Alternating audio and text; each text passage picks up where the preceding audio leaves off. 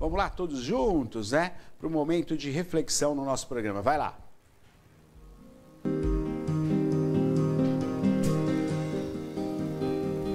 Os desafios são o que tornam a vida interessante e superá-los é o que torna a vida significativa. E é verdade, né? Nada melhor do que uma satisfação, de uma grande emoção quando você consegue superar um desafio, né? Às vezes os desafios são propostos para você sem que você procure, não é? A vida é assim, a vida é a surpresa, a vida é a procura.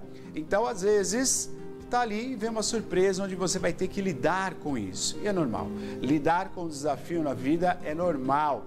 Superá-los com apoio, com ajuda, é algo essencial. Então, para você que nos acompanha todos os dias, sabe disso ao longo desses 15 anos, né? Quantos desafios na vida de todos nós que aqui trabalhamos.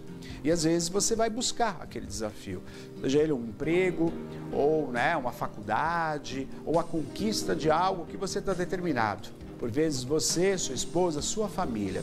E conquistá-lo, conseguir superar nessa caminhada e conquistar é algo que deve ser comemorado, não é? Por isso a frase nos, nos propõe isso, ó.